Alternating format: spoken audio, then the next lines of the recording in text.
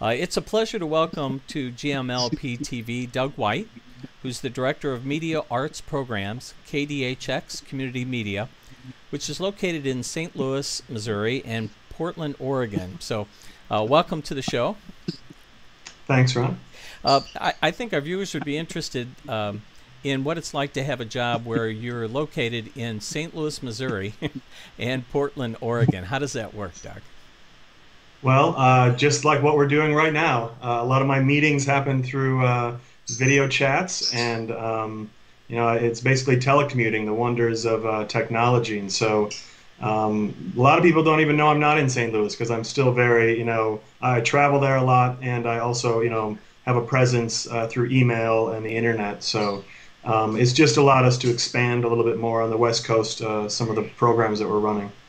And one of those programs um, I think, was the International Documentary Challenge. Uh, is that right? That, and, and, could you tell us about your involvement in that?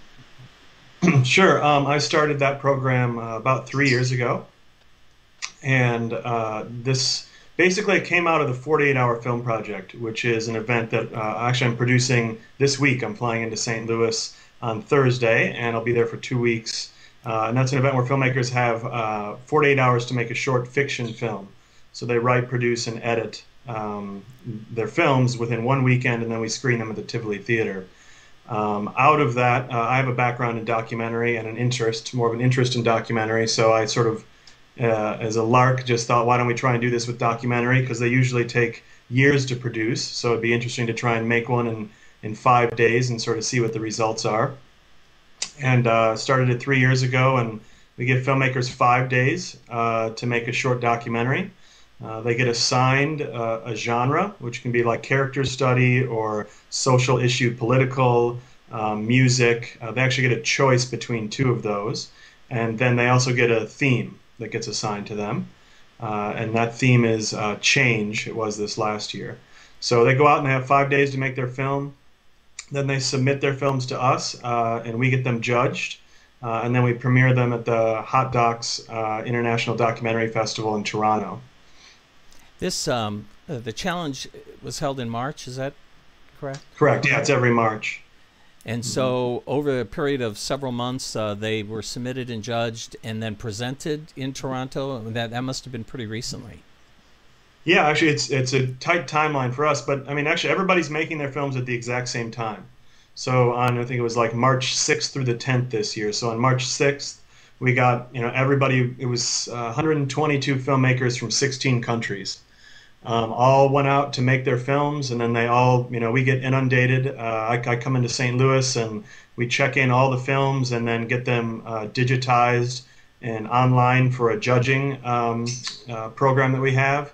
And then we have uh, people from all over the world, uh, professionals who help us judge the films. Uh, so they all come in at once. We judge them within a couple of weeks, and then within a, a, week or two after that, we're pre- presenting the, the top films at Hot Docs.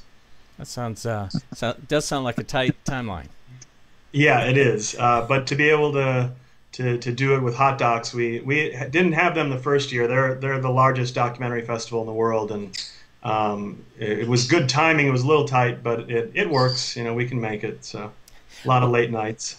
well, I think our uh, our audience would be very interested to um, have your thoughts and your perspective on the media literacy skills that are learned through producing documentaries, uh, just any kind of documentary, and then in particular, what does this compressed timeline uh, do for the participants that maybe um, maybe a longer timeline wouldn't provide? Yeah, um, I guess first the whole the, the impact on the filmmakers has been uh, one of the reasons that that I've continued to do this and have sort of expanded what we're doing. Um, there's you get the first of all you get the whole range from people who've never made a movie before to seasoned professionals who you know like to just set aside five days to, to make a short documentary with you know which is feasible to do as opposed to a lot of projects can take years. So the idea of blocking out that time for a professional um, you know is a feasible thing to do. But um, you know anytime I mean most of these filmmakers who are who are making these films um, a lot of them say it's the best filmmaking experience they've ever had.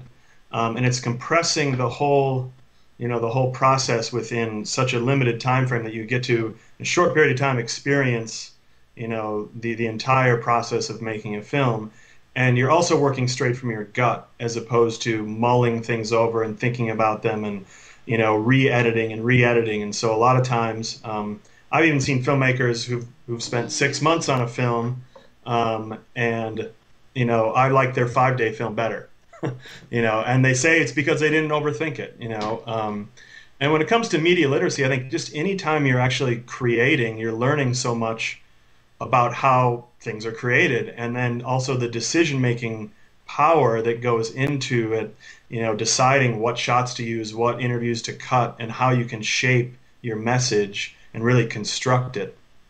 Um, and a lot of people you know really really learn a lot about how, how messages are constructed um, while constructing their own especially in that kind of time period get feedback from the producers and the participants in regards to the process and the difference? Or is this? Oh yeah, I mean, and and so here's one interesting statistic about this. So this five day thing, and, and why I I've stuck with it, and I'm going to, and why it's so successful is people actually get their their their projects done. Um, we have another program called Coming Up Shorts where we have we help local filmmakers make three minute short films um, and one reason we started that was I was seeing all these filmmakers out there who wanted to create films, and they were either maybe half hour or feature length, and they were just never getting them done. I was there; everyone was talking, but nobody was actually completing projects. And I always thought I'm a filmmaker myself, and the most important thing is to actually get something done and then screen it to an audience. You know, screening to the audience is the biggest part of it. You know, you I mean, and so you actually have to get something done to do that. And I was noticing just a lot of filmmakers talking, but never producing any work to to put out to the world and get feedback on. And so coming up shorts, we might have 50 filmmakers who participate, um, and we give them about four months to make this three-minute short. And you know, we'll actually give them equipment and uh, give them classes and stuff. But at the end, we maybe get like 13 or 15 films turned in, and this is f- over four months. You know, they have to produce a three-minute film. Well, we give these other filmmakers in the documentary challenge five days um, and we had 122 filmmakers. We got 101 films submitted, finished films. Wow. Um, wow. So there's something about giving somebody, you know, this sort of deadline in a, in a specific period of time to do it, where they'll actually get it done, you know, um, and complete it. And I think that is, you know, and I, and I do think creating is is a great way to learn media literacy. I mean, you, uh, you know, I don't think people really understand what goes into making uh, media until you make it yourself, and then you truly understand first of all how much work it is, and secondly how much power you have over you know um, your message and how you're constructing it, um, and and how you know the tricks too of of that, that people use and, and advertisers or whoever to get their message across. Uh, you'll suddenly realize those as you're creating your own your own piece. Well, this uh, other than this particular, you know, the challenge um, program, are there other ways that people in the Portland area and the St. Louis area can get involved in the creation of media through KDHX? Oh yeah, definitely. I mean, KDHX has a lot of programs, and we've got um, uh, some some educational programs now where we've gone to a type of um, uh, a program where our classes are no longer just you. Before we had you'd come in and you just take a class on how to work a video camera and then you were sort of off to maybe make your own project. What we realized is we were losing a lot of people. Um, and so now actually the classes are you create a, a video in your class.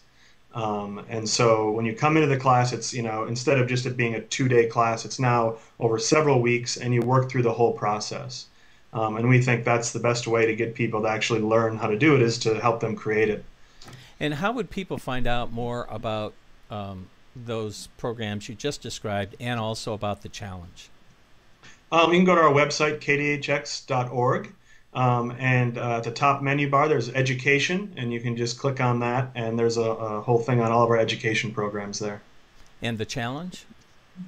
Uh, the challenge has, uh, you can get to it through the KDHX website uh, at our media arts section. Um, if you go to the TV and film uh, part of our website, and then there's a, a, section called media arts under that menu.